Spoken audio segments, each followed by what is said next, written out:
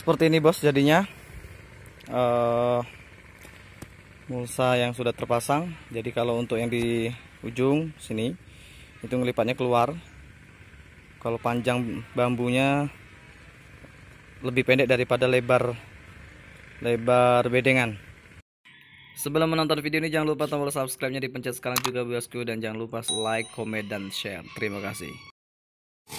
Assalamualaikum bosku. Selamat sore hari Jumat tanggal tanggal berapa ini bosku tanggal 17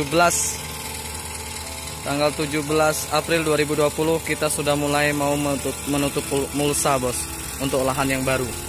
Nah di sebelum daripada penutupan mulsa yang kita lakukan adalah penyemprotan dasar menggunakan ditan supaya dia uh, digunakan untuk anti jamur bosku nah seperti itu.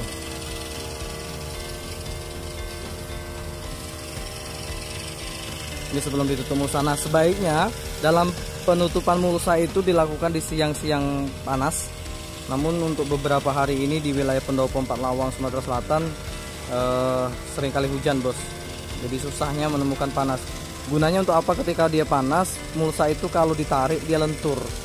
Ini kalau pak panas di situ. Nah kalau dingin kalau atau menduk jadi dia ditarik itu uh, apa ya berat susah bos. Sebelum ditutup mulsa jadi proses pembedengan ini yaitu pertama dikasih kohe ayam kemudian diaduk dengan kultivator kemudian dikasih pupuk kimia urea urea NPK dan TS yang dijadikan satu kemudian ditaburkan di atasnya setelah itu baru disemprot.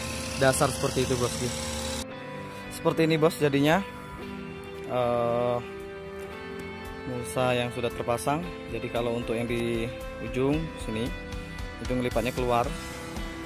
Kalau panjang bambunya lebih pendek daripada lebar lebar bedengan. Jadi dia mengerucut di sini. Ini lebih pendek.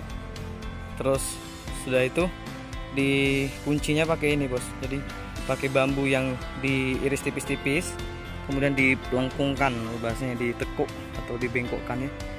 Di, uh, digulung kemudian ditancapkan. Jadi seperti itu. Nah kalau sudah itu ya. Kalau sudah kemudian ditimbun pakai tanah yang ada di sampingnya. Gunanya untuk apa? Untuk memini, uh, meminimalisir daripada hama masuk yang pasti. Kemudian menjaga suhu di dalam.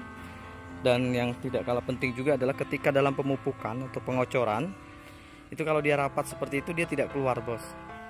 Ya. Jadi banyak sekali fungsinya ketika dia ditimbun. Jadi mulsanya ditimbun bosku seperti itu.